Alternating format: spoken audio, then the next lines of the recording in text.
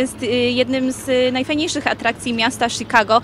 Nie tylko jednym z najprzyjemniejszych, ale też i jednym z najstarszych, bo ten budynek za nami, Shed Aquarium, e, był zbudowany już prawie 100 lat temu. W 1930 roku powstało akwarium tutaj w Chicago i jest jedno, y, no chyba tak z najbardziej e, niesamowitych akwariów na świecie. Dokładnie tak.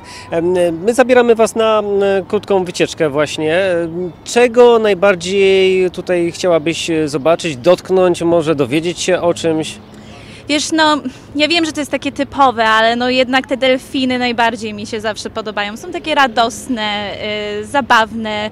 Y, wiem, że tutaj raczej nie będę mogła się z nimi pobawić, ale na pewno o nich się wiele dowiem. No i jeszcze jest Bieługa przecież, która nie tylko jedna zresztą, która jest niezwykle imponującym e, stworzeniem i e, myślę, że mm, warto się tutaj wybrać, zwłaszcza jeżeli gdzieś się chce na przykład dzieciaki zaintrygować, zainteresować e, istotami morskimi, bo jest to miejsce, które na mapie Chicago ma na pewno swoje olbrzymie znaczenie. Jak najbardziej. Przyjeżdżamy do Shed Aquarium nie tylko, żeby się zachwycić, ale też i wiele nauczyć o wielkim świecie oceanów i wód, y, o którym tak naprawdę chyba tak wiele jeszcze nie wiemy. Zapraszamy Was serdecznie. Niedługo dowiecie się więcej, jak jest tam w środku. A my uciekamy pod wodę.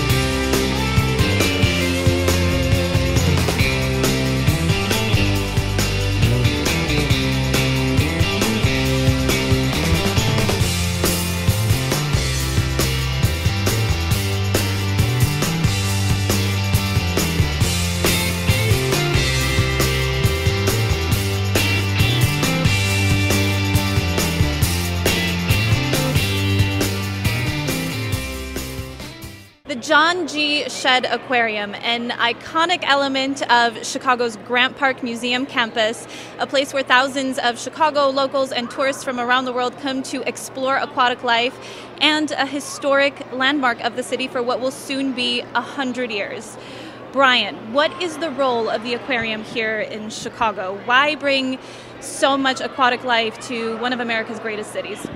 Yeah, so the question about the historical significance of Shedd Aquarium is one that I love talking about to our guests, especially when they come in just without the tour. Because this aquarium was built 92 years ago. We just celebrated our 92nd year anniversary, May 30th, 1930. And what made Shedd Aquarium so special and still really special till this day is we were the first, the world's first aquarium ever to have saltwater animals near a fresh body of water. And that was something that John G. Shedd, who founded Shedd Aquarium, local Chicago native, really wanted to give back to the community that served him really well. And it's a connection, it's building those connections from where we are in Chicago to the aquatic world around us. Because as we know, right, the earth is covered with water, more than it is with land. And we know much more about outer space than we do about the aquatic world. And so here at Shedd, we want to bring the aquatic world to the communities. And what's special about Shedd Aquarium is our ability to not just reach guests here, but we can reach them there and everywhere in a seamless and joyful way. So, coral is really important to these animals. It provides protection, it provides food, and it provides a job, right? Because some of these coral need these fish to help clean them. Just like the coral provides protection, they're able to help provide food as well. But we've got sharks. We've got Atlantic tarpon. We've got our volunteer divers who are in here right now cleaning the environment, but they also, we just missed a feeding session. So they're responsible for feeding all of the different animals in here. Now, the big one that I want to point out is right here in the center. That is our green sea turtle.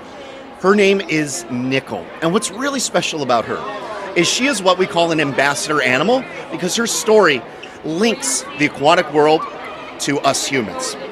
Now, you might notice that Nickel is swimming a little bit differently than most sea turtles, and that's because when she was really, really young, about the size of a dinner plate, she was struck by the propeller of a motorboat. Now, that propeller accident hit her right on the back of her carapace or shell, and it opened up a crack which trapped some air in the back of her. And so, you'll notice when she's under the water, her backside floats up more than the rest of her body. That buoyancy problem out in the wild is going to be a big issue. So, though Nickel may not be able to return to the wild, she has a happy home right here with us at Shedd Aquarium. Now, this habitat is our largest habitat that we have at the aquarium. It is around 2 million gallons of water in this one area alone. Total, the oceanarium is around one, 3 million gallons of water. So, this is almost two thirds of the entire oceanarium space. But obviously, right, we've got those big animals like the belugas and the dolphins, as well as those sea lions that need that space in order to help do those natural behaviors that we see. Um, so, with this, with this oceanarium, we're able to provide incredible experiences to help the general public learn and discover about these animals. So it's not just about seeing those dolphins do those incredible behaviors, which of course is a part of it, but it's also learning about how they're able to live and how we here at Shedd are able to take care of them to help them live much longer than they may out in their wild spaces. But that all happens right here in our nearly 800 seat amphitheater. So we can see up to 800, potentially 1,000 people at a time, which is pretty spectacular. So the zebra sharks are one of our most enthusiastic eaters. They're Um, so cute. and what's really cool about them is you'll notice that they're able to sort of like prop themselves up and they don't have to swim. And that's because these sharks actually breathe through what's called buccal breathing, where they have buccinators on their mouths to help them suck water over their gills without even having to move. So that's how they're able to sort of stand still while being fed. And you notice there's that buoy because our aquarists are up there having to target which zebra shark is actually going to be fed because as you can see that's a lot of mouths all at the same time. And our, what's really fascinating is us and folks at home probably can't tell the difference between these sharks. But the aquarists, they're able to tell the difference between each individual shark, not just by certain markings that they might have on their bodies, but also by their personalities. Mm-hmm. Because these animals, just like us humans, right? We come in all sorts shapes and sizes, different ways of thinking. So do these guys. So it's important to build that connection, just like we might build a connection with one of our family pets at home, whether it be a dog or a cat. Absolutely, and I think some of them look a little bit more friendly than, the others. like you mentioned, the zebra sharks, their faces look so cute and uh, Yes. So here's the zebra shark. and kind, while the other ones, I'm not sure what the name is, uh, but it looks more like what we would uh, remember from the film Jaws. Yes. That one looks a little bit more aggressive. So, in terms of their danger level, which Yeah. ones are mean, which ones are nicer? So I, I, I love this question because yeah, sharks can come in lots of different shapes and sizes, and so those gray ones that look like those great white sharks are actually sandbar sharks, and the most dangerous shark out of all the sharks in here, and I use that word dangerous loosely, is actually not a shark that you're seeing swimming around at all. oh, really? It's a shark that actually lives on the bottom of the ocean floor and hides itself in and amongst the coral. And I don't see them out here right now because they're really good at hiding, but they're called a wobbegong shark. And wobbegong sharks camouflage so they blend in. And the reason why they're the most dangerous is because if our divers are coming in here, whether it be to feed the wobbegongs or even to clean the habitat, they might step on them. And of ah. course, as a human, we don't like being stepped on. Right. Neither does my cat when I step on its tail. And so, yeah, the wobbegongs, if we step on them, of course they're going to be a little bit agitated, right? I'm sure we've all heard that sharks can smell a drop of blood from a mile away, right? Uh-huh. Well, smelling works a little bit different underwater than it does in the air. So when we humans put smelling, that idea of smelling, into a shark, we think that sharks are like a bloodhound underwater, right?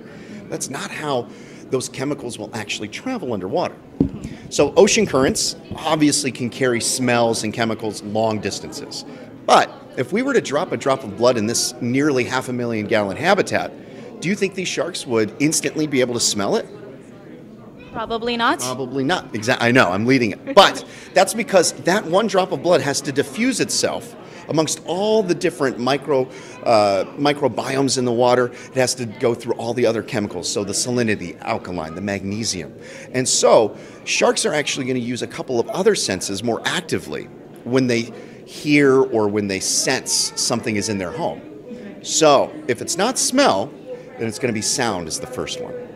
So if a human is putting itself in the home of a shark and it's making a lot, a lot of noise, well, imagine if somebody was in your house making a lot of noise, you'd probably be curious too. And sharks, they don't have hands, right? So they have to explore the world through their mouths, much like a toddler might, or a dog or a cat, right? So anything that has a mouth does have the potential to bite. However, sharks, they're not going to want to bite unless they're hungry. And as we just saw from this habitat, right? They're not eating the other fish. And that's because we feed them regularly so that way they're not hungry enough. But do you think that these fish out in the out in the wild would have their own defense mechanisms anyway? Right, yeah. Absolutely. The coral is a big one, right? It can provide shelter for those smaller fish because a sandbar shark isn't going to be able to sneak in and around these coral. But another one is going to be about agility. Mm-hmm. So sharks are really fast, right? Straight line speed, but they don't turn very well. So these yellowtail fusiliers and even that red-spotted or Achilles tang that's swimming right here in the center, they're really agile. So it's going to be difficult for a healthy shark out in the wild to chase down a healthy fish. And this is because this showcases how important sharks are for those ecosystems.